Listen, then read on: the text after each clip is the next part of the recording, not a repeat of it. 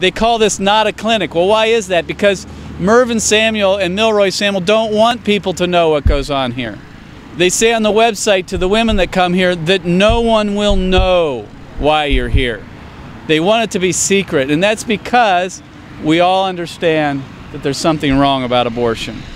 So, the point of us being here today is to say that Gosnell is not an anomaly, that it's happening all across America in every major city like Columbus. There are abortion doctors like Milroy and like Mervyn Samuel that are, are, uh, that are performing late term abortions. The truth of the matter is that these abortion facilities do not operate under the law and that we are going to continue to enforce the law or call for their enforcement of the current laws and also look for things that can be done to tighten the, the laws so that we don't have another Gosnell in our own city.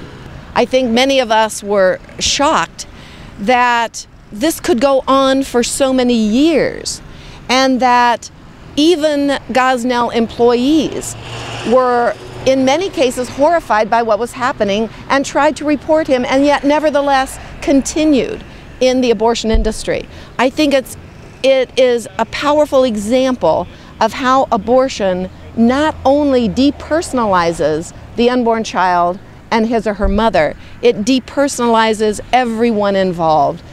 And in spite of the fact that a recent Gallup poll shows that 80% of Americans reject abortion in the third trimester and even believe it should be illegal, and 64% reject it in the second trimester.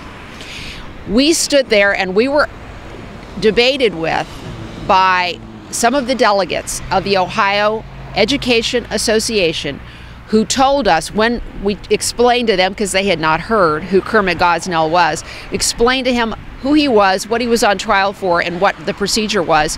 One man, very nicely dressed delegate, said, You know, that's part of choice. That's part of choice.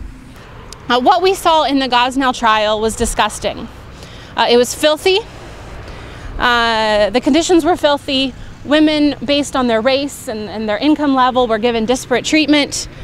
Um, and the reality is, is that while this trial has shaken reasonable people to the core, our visceral reactions of shock and horror and disgust reflect the truth about abortion. Um, and it's a truth that the abortion industry simply cannot avoid. As long as there are Gosnells harming women, killing children, as long as this is daily practice in America, we will not rest. We will not rest until the prejudice of born preborn is shirked off and we finally recognize once and for all that every single human being is created equal. Thank you for being here today.